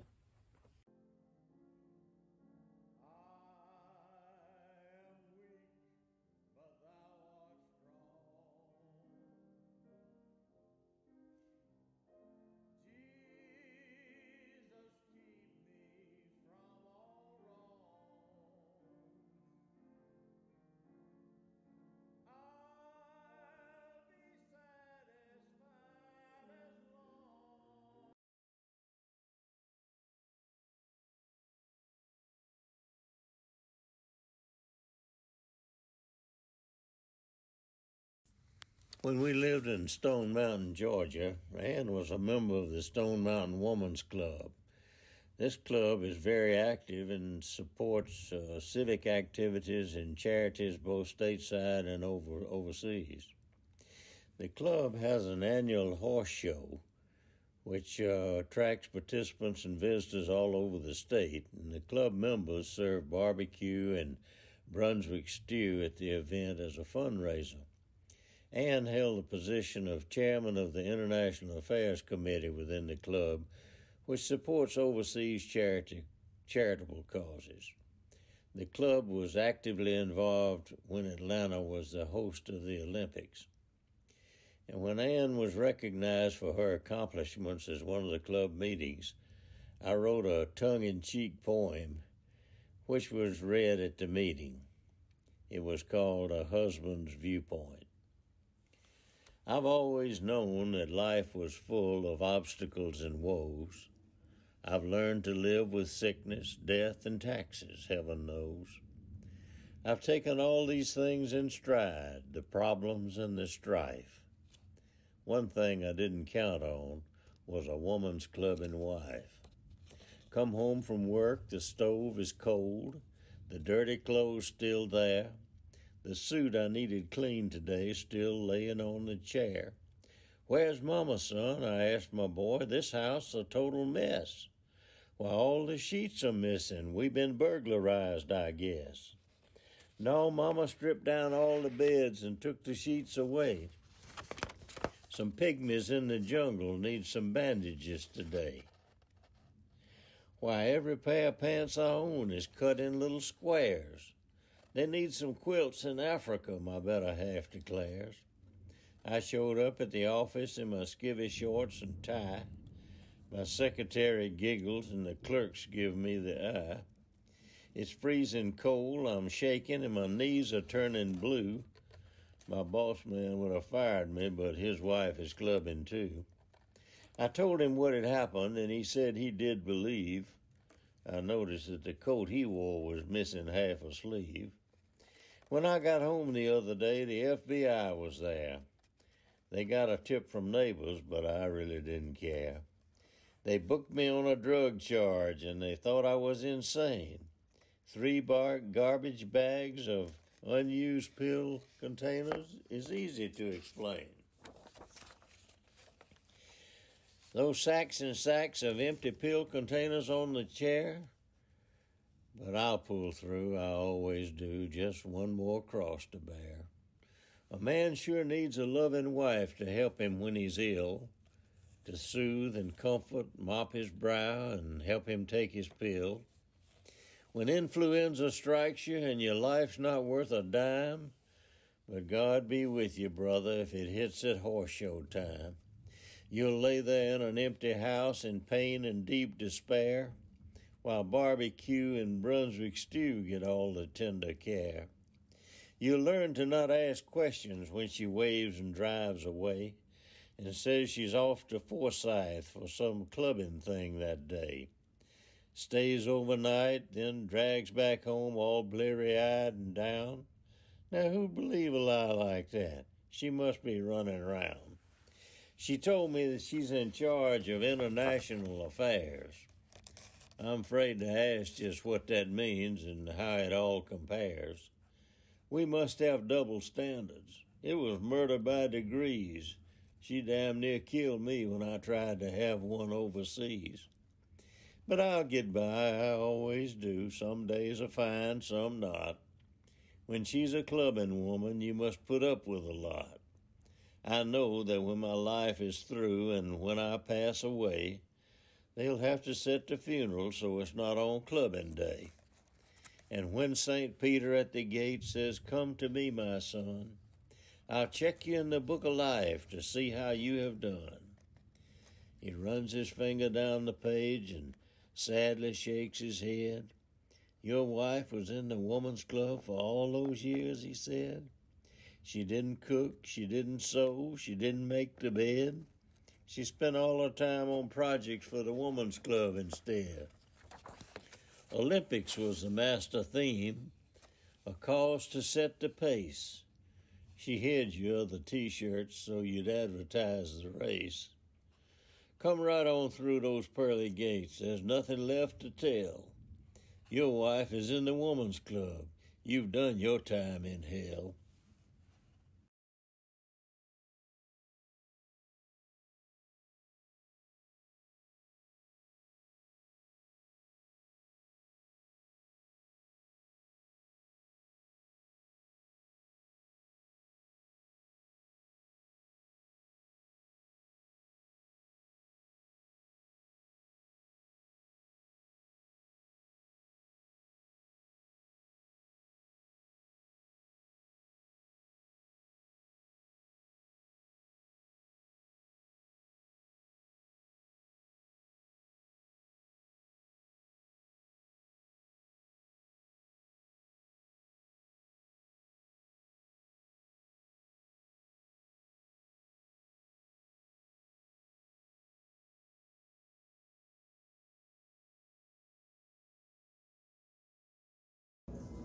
This was her 75th birthday.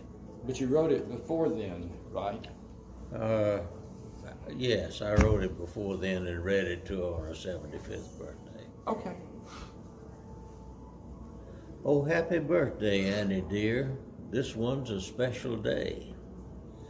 You've hit a brand new milestone, so I must confess and say that looking back over all the years that brought you to this place, the reconciliation, reconciliation puts a smile upon my face. For me, it all began in church. A lampshade hat I see. Is that a girl beneath that hat? Now, who could that girl be? I'm just back from the service and I've been away a while. I ask around and find her name, and all my buddies smile and they tell me that her name is Ann. Now, that's a pretty name. And after introductions, we began the dating game. You're 18 then and just a kid, and I was 24. I drove way out on New Light Road and knocked upon your door. Your little brother asked me in and told me that he thought that castrating pigs was great. oh, what a happy thought. Now, those were trying times for you. You'd left your home in town.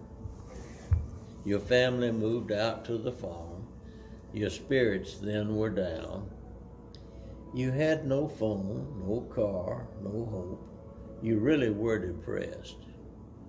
And separation from your friends was hard to take at best. But we began the dating to date, and then you seemed to settle in. I know when first I met you that a love life would begin. You had some apprehensions when we had a flat, and then you opened up the trunk to change the tire and you looked in, you saw a folded blanket and a cooler full of beer, a tuned up ukulele, and you said, What's all this here? I made some lame excuses, but the truth could not be shared. In case a guy gets lucky, he must always be prepared. Forget it, Dave. This girl is nice, and you will you'll not score tonight. so change the tire and close the trunk and keep your actions right. We dated and we fell in love and set a wedding date. We had to get approval. At, at that age, you're still jailbait. we married then, and the wedding night, and what more could be said? the unexpected happened in the darkness of our bed. I can't believe the thoughts I had when bugs crawled in your ear. I said, Be quiet and concentrate on what we're doing here. We flipped the light and realized that that was not the norm. We had to put aside our play and fight a termite storm. And in Columbus, I tried hard to make insurance sell until your dad got sick and left Farm Bureau for a spell. So we moved back to Starkville, and you really helped your dad. You were the youngest agent that Farm Bureau ever had. You brought a child into the world, our first. Oh, she was sweet. Our darling baby Debbie. What a blessing and a treat. Your dad returned and we moved on. Yes, Vicksburg was the town. The Corps of Engineers was just the place to settle down. With Connie Greer and Homer and the Cowits up the way, and Boots and Buster Bass were there. They're with us still today. And that and there our second child was born, a boy this time, and wow. We named him David Jr., and he's so successful now.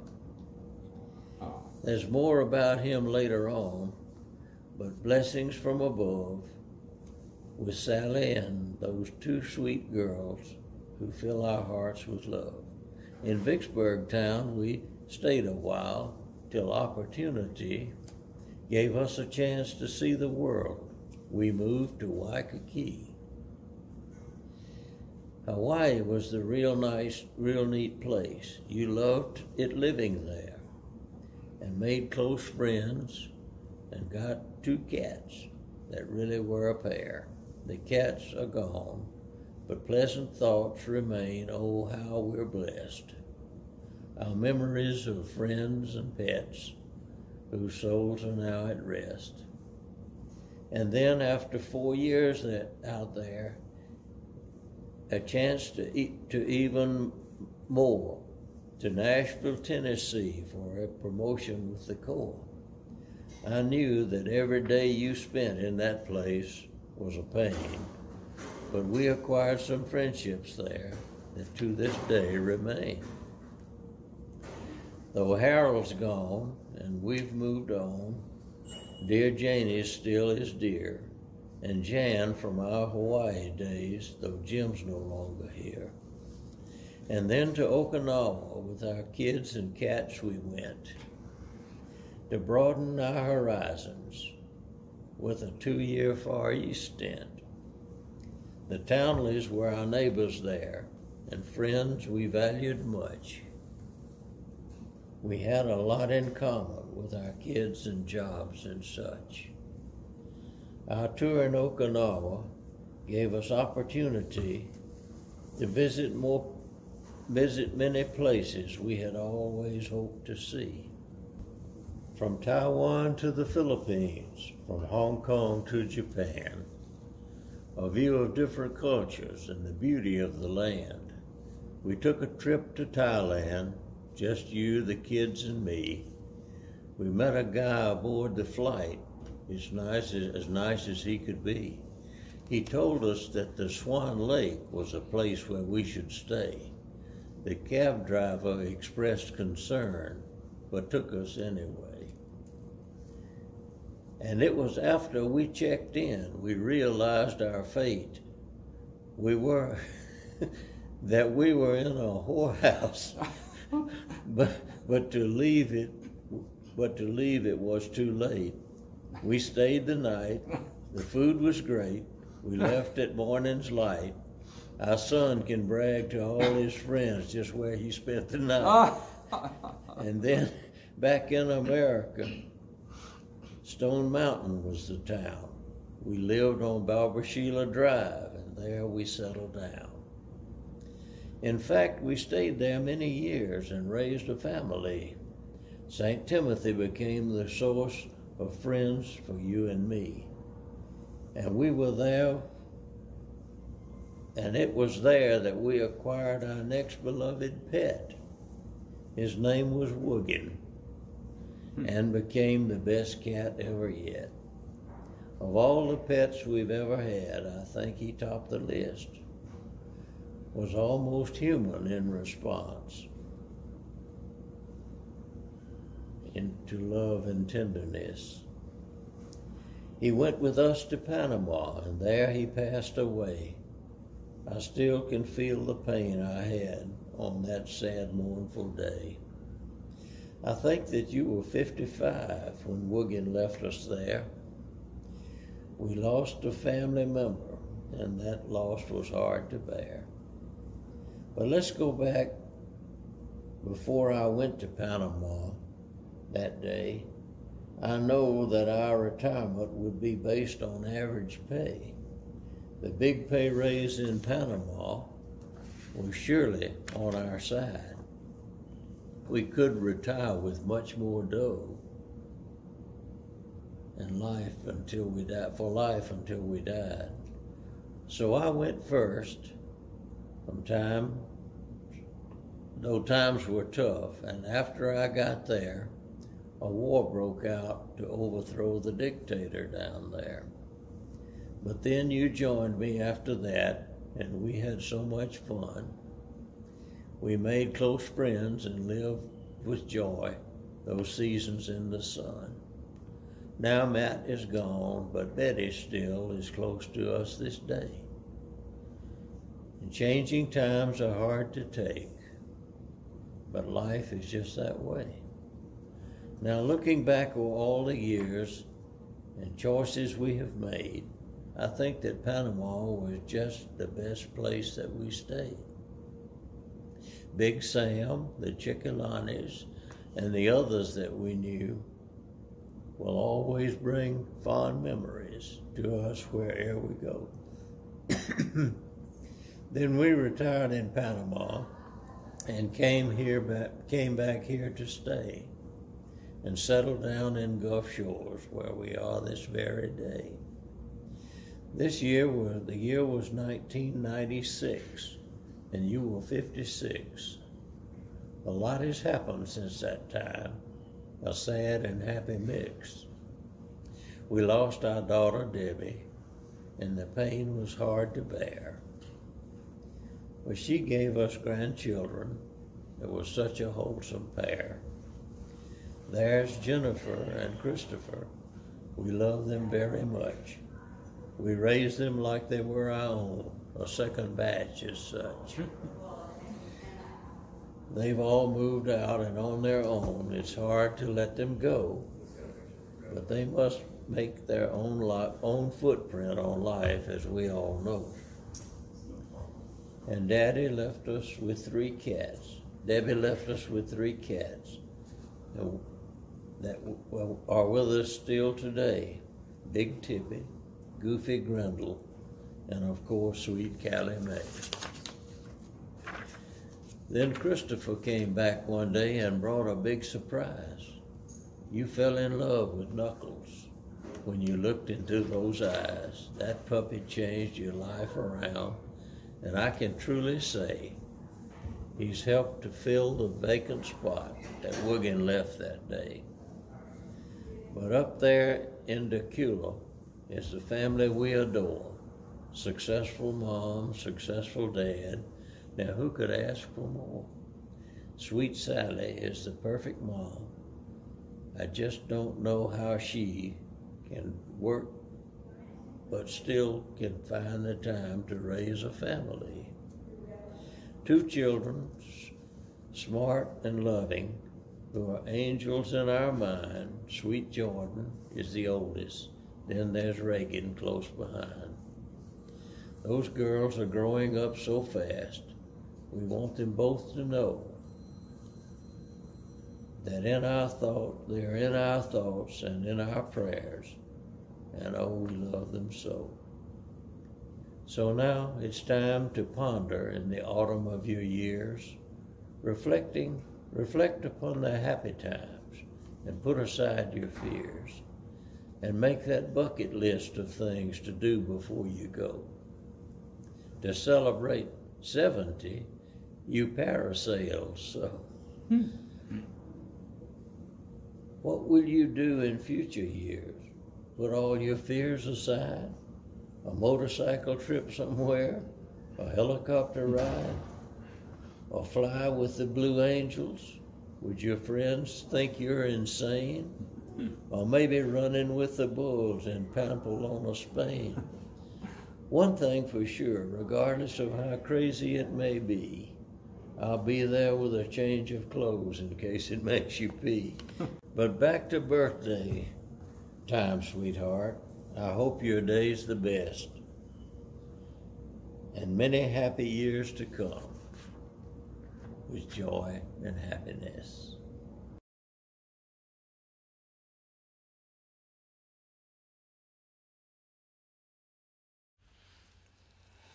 Anne passed away on uh, May the 26th of 2021.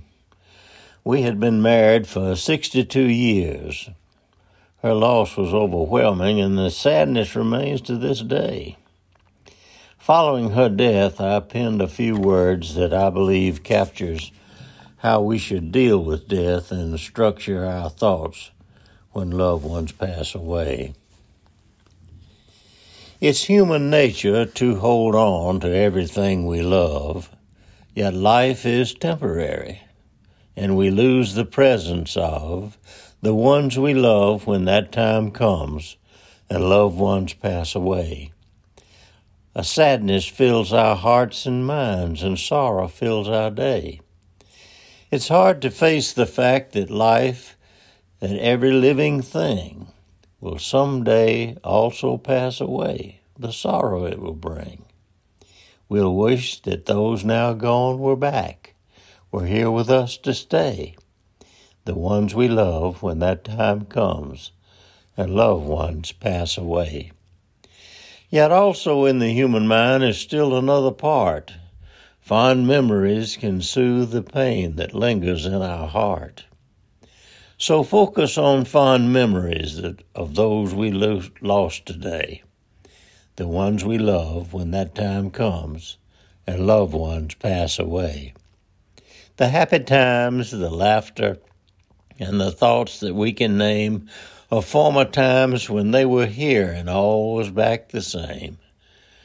Our Lord and Savior promises He'll be with them today, the ones we love when that time comes and loved ones pass away.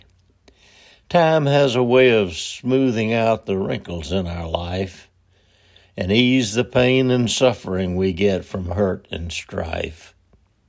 Just know that heaven is the place and they are on the way. The ones we love when that time comes and loved ones pass away.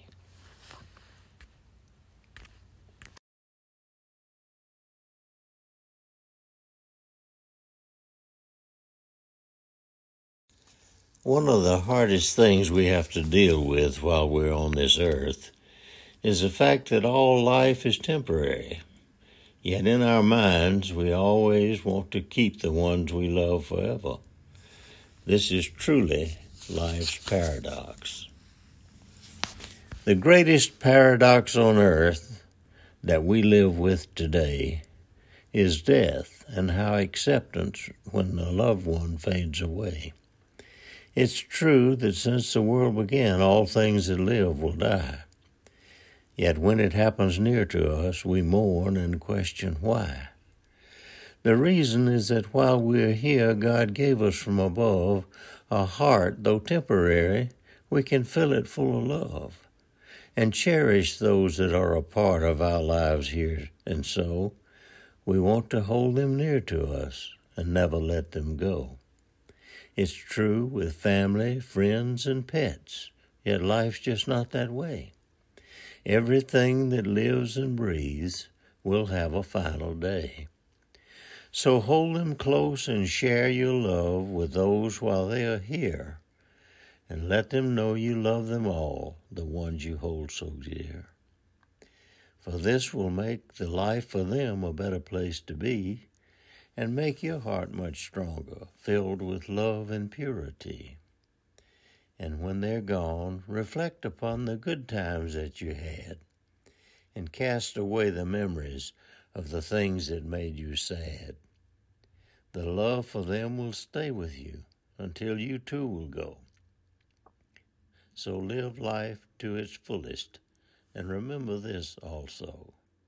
Show empathy and gratitude, be loving and be kind, so you become good memories for the ones you leave behind.